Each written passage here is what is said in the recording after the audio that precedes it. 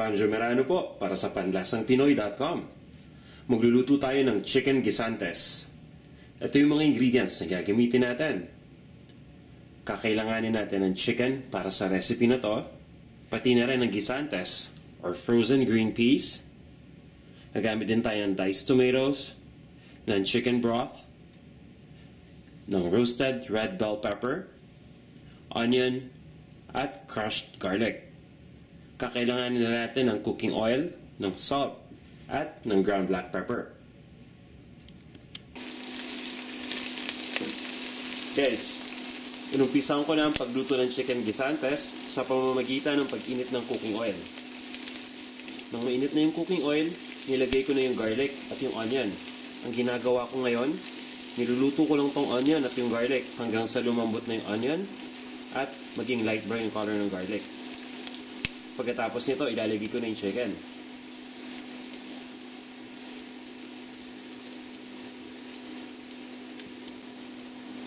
Okay guys, pwede na natin ilagay yung chicken sa puntong to. So dahan-dahan ko lang ilalagay yung chicken dito. Ang gamit ko dito yung chicken, yung chicken thigh. Hiniwa ko lang ito into serving pieces. At ang gagawin natin, ibo-brown lang natin yung chicken. Alam nyo, isa sa mga paborito kong simpleng ulam, itong chicken guisantes. Dahil nga, napakasimpleng gawin at napakabilis pang lutuin. At syempre, yung resulta nito, nako, napakasarap pa. Ngayon, dito sa niluluto natin, kapag nag-brown na tong chicken, ihahalo na natin dito yung diced tomatoes at yung chicken broth.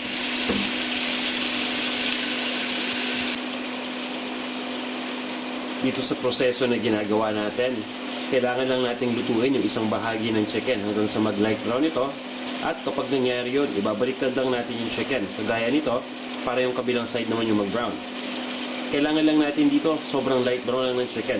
Yung maluto lang yung outer part nito. Kapag ganito na yung itsura ng chicken, ihalo na natin kagad dito yung diced tomatoes. At ang gamit ko dito yung delatang diced tomato.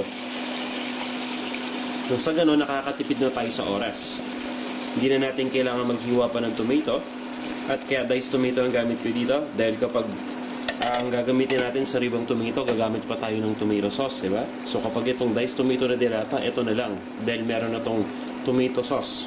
At meron na din tong kamatis sa loob. So parang pinaghalo na natin pareho. Ngayon, once na nandito na yung diced tomatoes, ilalagay na rin natin dito syempre yung chicken broth or chicken stock. Nakakatulong to para magpalasa dito sa ating dish. So pag nalagay na natin yung chicken stock or chicken broth, papabayaan lang natin itong kumulo. Kapag kumulo na, hahaluin lang natin to. Dahan-dahan lang. I-distribute lang natin yung tomato sa iba pang mga ingredients. At pagkatapos, tatakpan na natin to at isisimmer na natin ng ilang minuto para lumambot na yung chicken.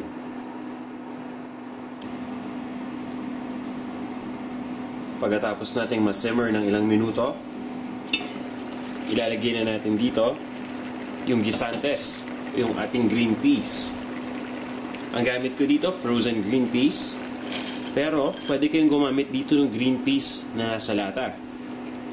Basta, i-drain nyo lang yung liquid o yung tubig na kasama nun. At para dun sa mga gusto magdagdag ng ingredient, no? Nakakatempt lagyan to ng potatoes tsaka ng carrots, ano? Pwedeng pwede nyo gawin yan. Huwag kayong mag-limit sa recipe na to. Kung meron kayong ingredient na gustong ilagay, subukan niyo baka mas masarap. Lulutuin lang natin ng ilang minuto hanggang sa lumambot na tong green peas. At pagkatapos nito, ilalagay na natin dito yung ating roasted red bell pepper. Ito na yung ating roasted red bell pepper. Isang buo itong red bell pepper. Ang ginawa ko dito, nilagay ko lang sa oven to. At grinwell ko lang, kaya makikita ninyo na roasted ito. Iba kasi yung lasa ng roasted bell pepper kapag nilagay natin sa dish na to. Pero huwag kayong mag-alala, pwede kayong gumamit ng ordinaryong bell pepper dito, yung sariwa lang. Huwain nyo lang at ihalo ninyo kung ayaw ninyo gumamit ng roasted bell pepper. Walang problema doon. Ang ganda ng kulay, ano? Paskong Pasko, green and red. Lulutuin pa natin to ng ilang minuto. At pagkatapos nun, lalagyan lang natin to ng salt at ground black pepper na pampalasa. Titimplahin lang natin ayon sa ating pandasa. At pagkatapos, ililipat na natin to sa isang serving plate. At isa-serve na natin. Now guys, nalipat na natin sa isang serving plate ang ating chicken guisantes at ito na yung magiging itsura ng ating final product. Kung gusto ninyo makita yung exact measurements ng mga ingredients na ginamit natin para sa recipe na to, at para sa iba pang mga recipes na I'm sure na magugustuhan ninyo, bumisita lang kayo sa ating food blog. Ang pangalan nito ay panlasangpinoy.com at makikita nyo ang iba't ibang klaseng recipes doon na tiyak na masasarapan kayo. Maraming salamat sa panunood nitong ating video. At sana kung nagustuhan nyo to, mag-subscribe lang kayo dito sa ating Panlasang Pinoy YouTube channel. Ito na ang ating Chicken Gisantes.